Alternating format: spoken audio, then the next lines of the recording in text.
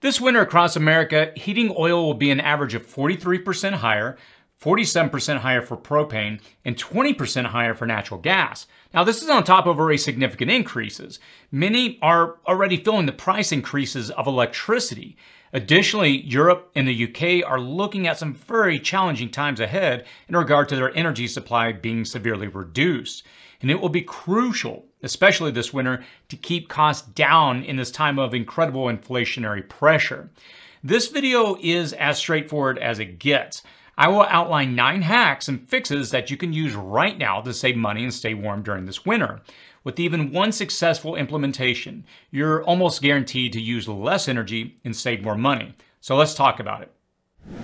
Download the Start Preparing Survival Guide to help you prepare for any disaster. I'll post a link in the description and comments section below, or visit cityprepping.com forward slash get started for a free guide to help you get started on your journey of preparedness. Tune it up and turn it down. You're going to want to get your HVAC system inspected yearly or conduct an inspection of it yourself. Make sure any filters are changed out, ducting is cleaned out, and everything is operating at peak performance. If you have a fireplace or wood stove, ensure the flue and chimney are swept and flowing properly and close a damper when not in use. The heating system you have, however old or new, is what you will be working with in this video. I will not recommend any space or portable heaters in this video because they don't save you any money over simply optimizing what you already have. The easiest way to save through the winter is to turn your thermostat and water heater settings down. The Department of Energy estimates that you can save 1% for each degree of thermostat adjustment per 8 hours. Setting your thermostat 7 to 10 degrees lower in the winter for 8 hours per day will allow you to attain an annual savings of up to 10%. Turning down your water heater and insulating it, which I'll cover later, will also save you money. Your hot water heater accounts for nearly 20% of your entire energy bill annually. So stop this video right now and go turn that thing down. The optimal temperature for your hot water tank is 120 degrees Fahrenheit or 48 degrees Celsius. This is a comfortable and sanitary temperature, yet does not significantly increase your energy costs. You can measure the temperature of the water coming out of the faucet adjust the temperature on the heater itself if you have a digital readout, or simply set it at a lower setting. If you find it is too cold after your initial adjustment, you can always turn it back up.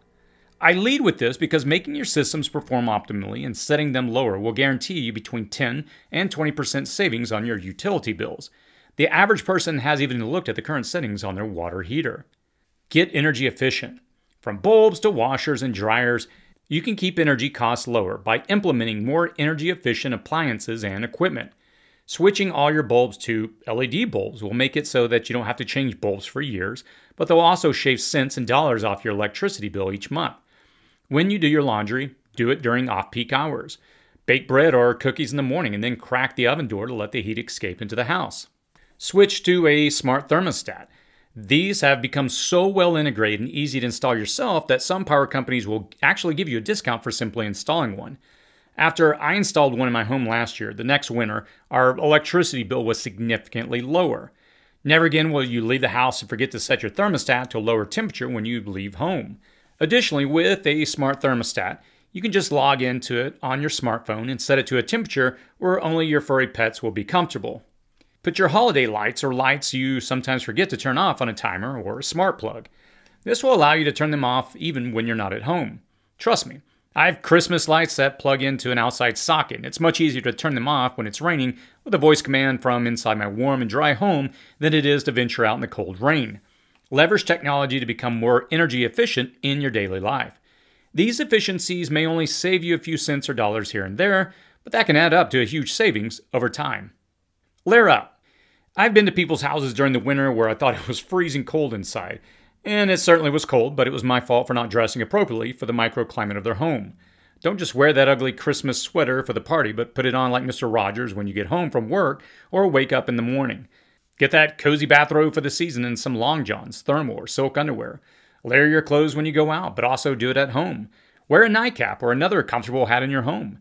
Preserve your heat even when you lower the thermostat. Socks with tread will keep your feet warm even on hardwood floors.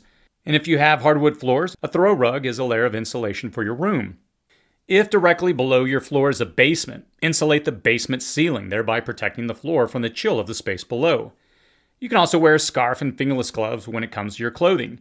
Whatever is comfortable for you. I know some people cannot stand to wear layers indoors, but even a plush robe can make a world of difference. Fix your leaks. Using an infrared temperature gauge, you can leverage technology to locate drafts and air leaks in your homes. These non contact digital thermometers are convenient when preparing for summer, winter, or just cooking in the kitchen, so you will be glad you've got one. Point its laser around windows, doors, and walls to understand your cold spots and where they're coming from. You can use it to figure out where the heat is flowing or why it's not getting to where you want it to be. Another way to determine drafts in the house is to light a candle. If a flame flickers and the smoke moves off in a specific direction near windows or doors, it's a good indicator of a draft. Sometimes just locking down and clasping down a window can create a tighter sill. Even small spaces under doors can bring a flood of cold air into a room or house. Indoor weather stripping, sill foam tape, and under-door draft stoppers can be purchased for just a few dollars, but they will save you tens or hundreds of dollars over a whole winter if you can fix leaks and drafts with them. A hole the size of a 1 inch door undercut will allow airflow of about 60 cubic feet per minute. It isn't just the outside doors and windows that can make it challenging to keep your home warm. If you have colder and warmer areas of your house, they're constantly trying to exchange their air and the temperature will drop. Your heater will work extra hard. Close off the HVAC vents and insulate under the doors of any rooms that you rarely or never use. Make sure the vents you do rely upon are open and unobstructed. Having a draft stopper under your bedroom door can keep the warm air in your bedroom while you sleep, even as the other rooms get very chilly. When it comes to windows, make sure that you open the curtains and let the sun in during the day, but keep them closed once the sun goes down. Even a few extra degrees can help. Insulate. When you find a draft or note particular walls in cold areas, there are ways to insulate and heat them. If one of the walls receives a lot of sunlight, cut back bushes and trees that could prevent the sun's warming rays from hitting the wall. Your home was built with insulation, but it can sometimes be absent around window frames or in and around doors. Drilling a very small hole in your cold locations and using a gap filler or spray foam can immediately impact your environment. Foam core insulation sheets can quickly insulate garage and basement walls, or even add a layer more to attic spaces. It comes in various sizes, so you can get a size that is right for you, even to cover windows entirely. Insulation isn't just for the winter, by the way. You can also save on your cooling bill if you use it right and use it strategically.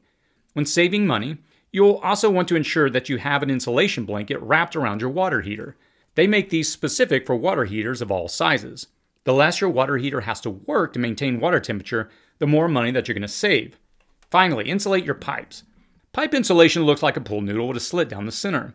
It's easy to install and it will protect your pipes from freezing and depending upon the insulative rating, will lock in the warm temperatures of your warm water pipes. Ceiling fans. The physics here are simple.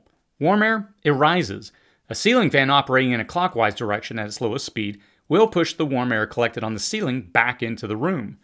Recirculating the warm air will help your heating unit run less often.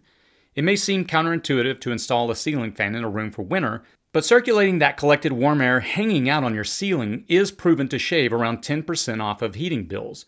If you can't install a ceiling fan, placing a small fan on top of shelving units or cabinets pointed at 45 degrees towards the ceiling and on its lowest setting will circulate the warm air back into the room.